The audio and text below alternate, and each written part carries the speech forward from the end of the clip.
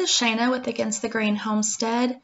In this video, we're going to talk about squash bugs. So your squash leaves can turn yellow for various reasons, but this particular video is showing you squash bugs on my plant.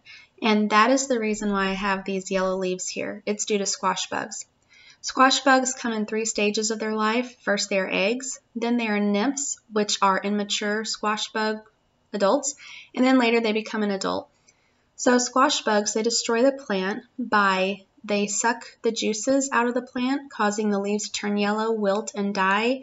It decreases your fruit production, and it could just devastate and completely kill your entire plant. So I'll show you kind of how we deal with the eggs, the nymphs, and the adults in this video. So right here is a squash bug nymph. This one is dead. We sprayed it last night and we will show you um, what spray we use. But you do need to be careful with this spray.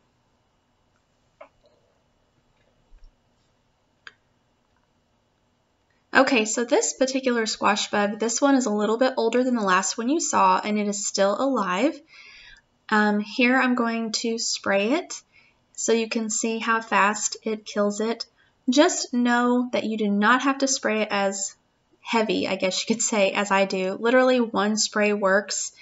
It's just, um, we have a lot of squash bugs and um, sometimes I'm afraid that they're going to get away. So I spray them entirely more than they need to be sprayed. So don't overdo it. but you can see they slow down and they literally die within seconds. So you can see the sky is not moving here.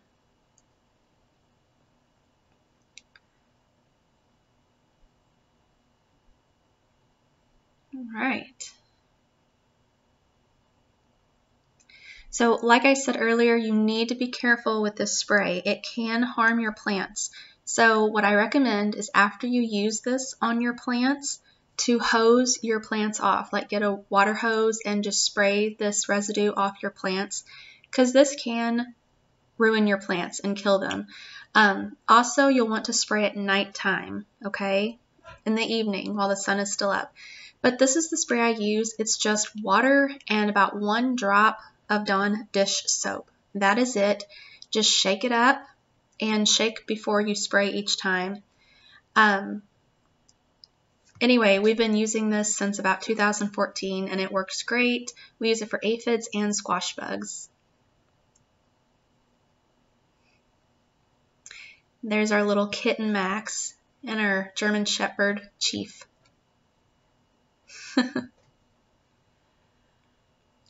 Max is not supposed to be in there, but you know how it is.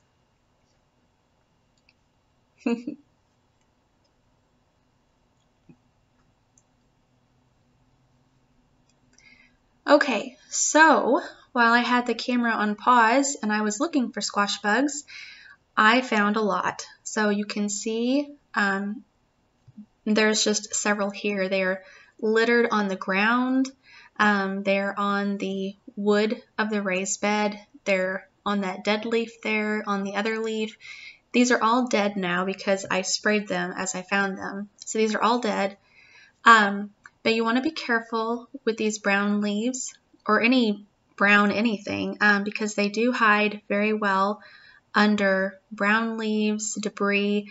So um, as I was spraying this, uh, little squash bug nymphs, they would come out from under the folds of the leaf, as you'll see here in a minute.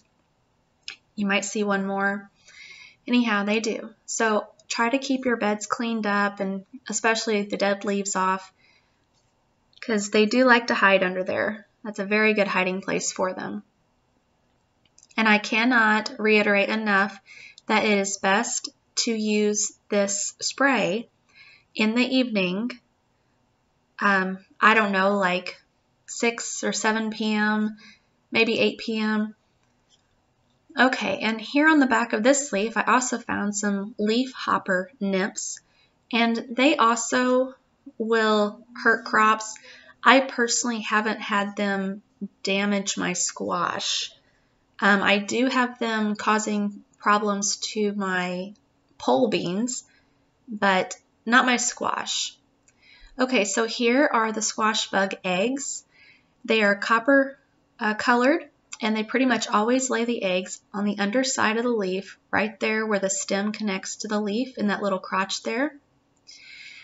And you just need to take something like a knife or something um, thin. I usually like to use my pinky nail. It's just as a good little tool size fit for in between those veins there of the leaf. You just want to scrape them all off. Don't let any one drop and um, put it in soapy water. Now you cannot spray the eggs with the soap water because the eggs have like a coating on them. It protects the developing bug inside. So right here you can see here is another squash bug nymph. It's a little bit bigger. It is not an adult yet, but this one is dead from the spray as well. And I cannot reiterate enough, you want to spray later in the evening. You do not want to do it on the hottest part of the day. It can hurt your plant. So right here on the back side of this leaf is some squash bug eggs and newly hatched little squash bug nymphs. So when they first hatch, they tend to stay together in a group on the underside of the leaf. As they get older, like the other ones you have seen, they kind of go solo and spread out more on the plant. So it's best if you check your squash plants every day or every two days and scrape off the eggs.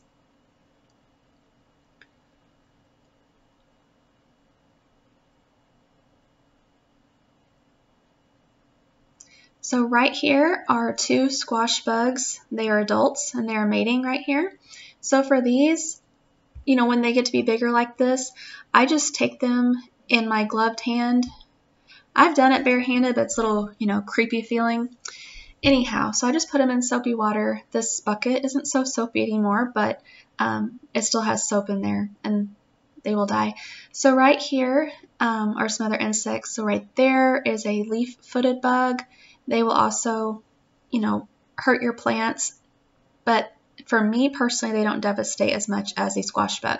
Right here is a cucumber beetle. They look a little like a like ladybug, but they're yellow with black spots, and some of them will have black stripes on them instead.